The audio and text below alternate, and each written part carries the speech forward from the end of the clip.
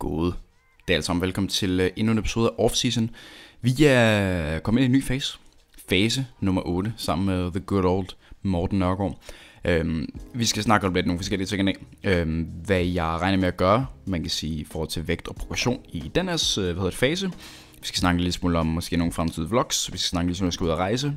Vi kommer lidt rundt det hele, så læne tilbage og nyde det. Øh, vi starter lige med at snakke lidt smule om, hvordan jeg øh, vil lave progression i den her fase.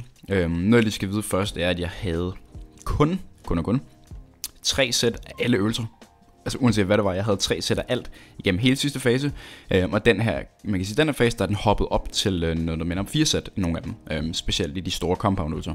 Øh, det jeg så regner med at gøre, øh, mest i bænk, squat og dødeløft, som det ser ud lige nu i hvert fald det er, at fordi jeg kun havde tre, sidste, tre sæt sidste fase, øhm, og har fire den her gang, så jeg er nødt til at sænke vægten en lille smule. Øhm, hvis jeg for eksempel kun havde startet 2,5 kilo under, øhm, hvad jeg havde lavet sidst, det er mindre, end man kan sige, to sidste fase, men fordi jeg har et helt ekstra sæt, så er jeg nødt til at sænke vægten en lille smule mere.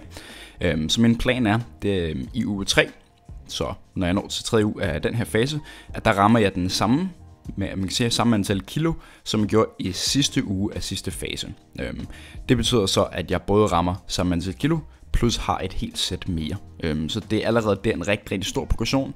Så vil jeg også godt, at man kan sige, min yderligere progression bliver nok en lidt smule langsommere, fordi jeg har et helt sæt til, men Øhm, lige nu, der synes jeg, det virker rigtig fint. Alt føles super nemt, også selvom det er, man kan sige, det er ekstra sæt. Øhm, men jeg tror, at det er en meget fin måde at gøre det på, øhm, som også er meget sådan fastlagt, som gør det lidt nemmere at holde styr på. Øhm, så det er sådan lidt den måde, jeg har... Ja, det ved jeg ikke. Lave positionen af fase. Ja, let's move on. Øhm, og en ting med det her, øh, den her øvelse, romansk støtte med håndvægte. Øhm, de her håndvægte, vi har her, super irriterende i forhold til de andre. I, hvis der er nogen, der træner fitness jeg gætter på det flere, øhm, så har I sikkert set de håndvægte, der kan dreje, der er lavet sådan noget plastik, sådan noget lidt mere glat plastik, hvorimod de her, de er lavet af lidt noget mere rot, eller hvad fanden man skal sige. Der er i hvert fald mere modstand. Øhm, så på vej op, der hedder det fast på min tights, og så skal jeg sådan gnide dem mod det. Det er lidt irriterende, men øh, super fin øvelse, øhm, uanset hvad. Så øh, ja, fremtidige vlogs. Øh, jeg har nok set, jeg har ikke uploadet så mange vlogs, så jeg har faktisk ikke uploadet noget, der minder om øh, fire uger, og det der er i, i grunden ikke så mange undskyldninger til. Øh, jeg har bare ikke rigtig haft lyst, af en af den første grund. Øh, og så synes jeg ikke rigtigt, at jeg har fået de uger, hvor jeg så har, man kan sige, fået filmet øh, til at lave off-season episoder. Øh, så har jeg måske kun filmet en-to dage, og jeg, jeg kunne i grunden godt lave en video ud af det, men så vil jeg ikke rigtig være tilfreds med den, og så har jeg ikke lyst til at uploade den. Øhm, så det har egentlig været det, der er sket de sidste fire uger. Øhm, jeg har ikke fået filmet nok, har ikke haft nok til en video, i hvert fald ikke nok til, at jeg gider at være, eller kunne være tilfreds med den. Så øhm, det, der så er gået hen og sket, gået hen og sket, det er godt nok lidt tid siden, øh, men jeg har fået et GoPro, øhm, et GoPro Hero 7 Black, og det er det, jeg regner med at filme, når min kæreste og jeg sådan skal ud og rejse fra den 18. september. Det skal også lige siges noget. Øhm, jeg kommer til at uploade meget, meget få gange i løbet af den. Jeg har allerede filmet en video, der er klar til det, og der kommer også en ekstra, øhm, som man kan sige er planlagt. Øhm, men jeg tror vist ikke, der kommer mere end det. Øhm, jeg regner ikke med at øh, redigere, når jeg er dernede. Jeg gider ikke have min store computer med, den der sidder her foran mig, øh, som er den, jeg redigerer på. Øh, den gider jeg ikke så med, jeg tager kun min Mac med, fordi den er så light og nice at have med. Øhm, så den er meget nemmere at smide i en rygsæk og kunne ja, rejse rundt med. Så det er derfor, jeg ikke øh, gør det. Øhm, jeg kunne godt reagere på min Mac, men det gider ikke bruge tid på noget rejse, så hey. Øhm, så jeg har i hvert fald et øh, GoPro, som jeg regner med at vlogge med. Øhm, ideen var så også, øhm, eller ideen, man kan sige, det jeg havde tænkt over, det var, at i stedet for at bare hoppe direkte ud i det, øhm, og aldrig nogensinde har vlogget med et GoPro før, det har jeg ikke, øhm, så ville det måske være meget smart at få lidt øvelse. Og det tænkte jeg måske, jeg kunne gøre herhjemme, øhm, bare lige for at prøve at få en idé om, hvordan det er at vlogge med et GoPro kontra et øh, A6000.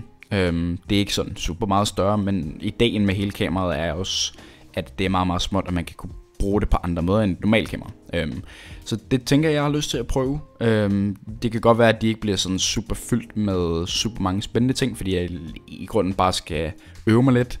Øhm, jeg tror også noget som transitions bliver en lille smule anderledes at lave på det, end et normalt kamera, øhm, så vi finder ud af det. Men jeg tror i hvert fald, der kommer til at komme nogle vlogs i, i fremtiden, øhm, så jeg kan få noget øvelse med det. Så men ja, jeg tænkte lige hurtigt, at vi snakker op, øh, om rejsen også. Jeg skal afsted, eller vi skal afsted fra den 18. september til som det ser ud lige nu. øh, slut december, noget der minder om den 22. december. Øh, så lige før jul, der kommer vi hjem. Øh, så vi skal afsted til Indien først, så skal vi til Vietnam, så skal vi videre til Sri Lanka og så Filippinerne til allersidst. Øh, den, øh, den geografi kendende, kendte, det ved jeg ikke, den der er kendt med geografi, vil nok synes, det ikke giver super meget mening, at man kan sige, tage fra, fra Indien til Vietnam og så videre til Sri Lanka. Øhm, Sri Lanka ligger meget, meget tæt på Indien, det ligger lige syd for. Øhm, men det er fordi, at det tidspunkt, vi rejser, det er et rigtig lortet tidspunkt, at tage Sri Lanka på. Øhm, det er sådan noget, hvor de anbefaler ikke at tage vandet, fordi der er meget vind og sindssygt meget regn og sådan noget. Det var, øhm, det var vi lidt nødt til at rykke. Øhm, undskyld mig. øhm, så tager vi bagefter Vietnam som sådan noget bedre ud i, øh, i den måned. Så Øh, midt i rejsen, det bliver en, øh, en rigtig fed tur forhåbentlig. Øh, det bliver uden arbejde overhovedet, så fuldstændig væk fra alt, hvilket jeg glæder mig rigtig, rigtig meget til, og så kan jeg bare bruge en masse tid sammen med min kæreste. Øhm, som de fleste nok ved, så bor hun i Stockholm, så lige nu, specielt fordi vi skal spare så mange penge op til det, så har vi ikke set hinanden i, øh, man kan sige, der går meget længere tid mellem vi ser hinanden, kontra hvad der gjorde før. Øhm, så der går tre, nogle gange tre en halv, fire uger, før vi ser den anden lige nu. Det kan godt være rigtig nederen, og det er rigtig nederen. Øhm, men vi begge to også, man kan sige, enige om, at det vi er lidt nødt til at gøre, fordi vi er nødt til at spare op. Ingen af os tjener sådan super mange penge, øh, hvilket ja, er på en måde irriterende, men fordi vi begge to er ret glade for, hvad vi går og laver, så er der ikke rigtig nogen grund til at tjene mange flere penge. Øhm, lige nu i hvert fald før vores rejse. Øhm, det er noget, vi kan begynde på bagefter, hvor vi også forhåbentlig skal flytte sammen. Så hey, en masse fremtid, som også kommer til at snakke om. Øhm, jo, hurtigt den her øvelse, den hedder uh, The Eugene, Eugene Tios uh, øh, Readult Madness, tror jeg den hedder. Uh, Eugene Tio på uh, Instagram, gå ind og find den. Det er helt forfærdeligt. Jeg tror, jeg lavede noget, der minder om det 80 gentagelser eller sådan noget. Øhm, det kunne være meget sjovt. Jeg tænker, uh, jeg måske kunne få Morten til at forklare, spille det ind næste gang, hvorfor det er så godt sæt, så kan han lige øh, komme med os, øh, som vi forhåbentlig også skal lave nogle videoer sammen. Vi har snakket lidt om, øh, jeg har måske set på Morgens kanal, at han har begyndt at lave en masse rigtig fede videoer, high quality øh, videoer øh, på hans kanal, hvor han træner med nogen. Øh, han, jeg tror det var Sara Barlose, der var med i hans sidste video, og så så havde han ikke en med før det. Nå, fuck det. Øh, men vi i hvert fald snakker om, at vi også skulle lave en video sammen, øh, som min bror får lov til at filme. Så det er i uh, The Makings lige nu, øh, så det er jo noget, I kan se, uh, se frem til. Jeg er ikke helt sikker på, hvad vi skal lave. Vi skal sikkert bare træne og snakke om alt muligt hyggeligt, så det vil se ud til, til den tid. Øh, Ja, yeah, jeg tror ikke egentlig ikke, der er sådan super meget kommer. Jeg tror faktisk, jeg havde mere at snakke om, end sådan lige så. Øhm, så jeg måske jeg snakke lidt om, om øvelserne. Det gør jeg faktisk ikke så ofte, nu hvor jeg tænker over det. Øhm, det er ofte om mine makroer og alt muligt andet end, end træning generelt, men lad os det gør det. Øhm, den her øvelse, som vi ser lige nu, Smith Machine Squats, er blevet min yndlingsøvelse. Den, jeg har i grunden kun lavet den Mm, ja, man kan sige, at den her sidste uge, øh, jeg sidder og gør det på mandag i uge 2, i uge fase 8 lige nu, øh, så det her det var sidste uges tirsdag, den er fuldstændig sindssyg. Øh, man får et, altså, jeg personligt i hvert fald får et sindssygt god kontakt til min forlov, fordi jeg kan stå så langt tilbage, jeg kan få så lang knævandring, øh, og fordi jeg ikke skal tænke så meget over, man kan sige, at man kan sige, balancere vægten, det hedder det ikke helt, men I forstår måske godt, hvad jeg mener, hvis I har, har squattet.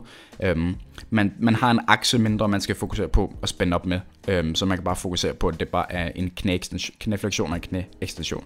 Øhm, så jeg elsker den øvelse, og jeg glæder mig virkelig til at kunne få, øh, få bygget nogle øh, store stænger med den her øvelse, for det tror jeg virkelig, at øh, det vil hjælpe på. Ikke fordi min forløb er store, men jeg glæder mig til at blive større. Så ja, yeah. øhm, ved sådan press, det er en af de øvelser, jeg har kommet fra krummet, øh, fra 3 til, øh, hvad hedder det, 3 til 4 sæt i. Øhm, der er så også lige færdig en gentagelse, så for havde det 3 gange 6 nu hedder det 3 gange, eller 4 gange 5. Øhm, så 52,5 før i første uge var egentlig også fint nok. Øhm, Ria 2 de første øh, 3 sæt, og så en enkel i, øh, i fjerde, øhm, hvis jeg skal være helt sådan, hvad er det, siger, helt øh, true to myself. Øhm, hvad fanden han siger? Helt ærlig, ja, det er, hvad man siger, så være helt ærlig med mig selv. Øhm, så videre til noget, øh, noget armtræning. Øhm, jeg kan ikke huske, om jeg har snakket det om før, men jeg har kun, kun og kun, det ved jeg ikke, det kommer også lidt an på, hvad man snakker med. Øhm, jeg har kun 6 sæt biceps om ugen og 6 sæt triceps om ugen. Øhm, og det er der super mange, der bliver meget overrasket over. Øhm, ikke, det kan være flere grunde, tror jeg. Øhm, at det er generelt ikke særlig meget. Der er mange, der laver 6 sæt per træning til deres arme. Øhm, også, eller så er det måske fordi, jeg har ret fine arme. Øhm, og så tror de måske, hvis man skal have så store arme, så er man lidt nødt til at lave noget mere og træning til dem. Øhm, det har man ofte slet ikke brug for. Øhm, mange af mine klienter, som har mindre erfaring end mig, ligger på 3-4 sæt om ugen. Øhm, og så har de en masse, og jeg mener en rigtig, rigtig masse, indirekte arbejde gennem pull-ups, gennem masse rows, øhm, hvilket der er mange, der glemmer. Øhm, så hvis du er en, der har trænet i under to år, hvilket der er mange, der har, altså alt under to år, vil jeg ikke anbefale meget mere end fire sæt øh, direkte armarbejde øh, om ugen. Øh, I hvert fald ikke, hvis du laver progression af din, dine din træk- og presøvelser. Øh, så får din arm masser af arbejde. Øh, til dels, hvis du har dem som et, et fokuspunkt. Øh, men når man ikke har trænet så lang tid, så vil jeg egentlig anbefale at fokusere på sådan det hele, i stedet for at fokusere på arm for eksempel, selvom øh, arme er sådan en ting, mange fyre godt kan lide at have en, øh, gider at fokusere på, fordi det ofte er sjovt, og det ofte ikke er så hårdt, og det ser rigtig fint ud, sådan en lækker t-shirt. Øhm, men at fokusere på det hele, og så bare skrue ned for din armvolumen, øhm, det vil de fleste have, have gavn af, og så har de sikkert også mulighed for at lave noget bedre progression i deres øh, armøvelser. Det er i hvert fald det, der er sket for mig. Øhm, før, når jeg var kommet til min aller sidste bicepsøvelse, måske den fjerde i ugen, øhm, på den sidste dag, fordi jeg har allerede lavet hele ugen tre bicepsøvelser og lavet en masse træk, så var det stort set muligt at lave progression. Øhm, og nu der kan jeg lave fast progression. Jeg har masser af overskud. Øh, jeg føler ikke, at mine arme er ved at falde af, hver gang jeg træner, øh, træner dem, hvilket er nogen, der godt kan lide. Det, er, det er jeg ikke så stor fan af. Jeg har vores pump og stadig, men øh, ja, du har ikke brug for så meget armvolum, som øh, du går og tror. Så øh, ja, det var egentlig det. Jeg vil gerne sige mange tak, fordi I gad os med. Hej.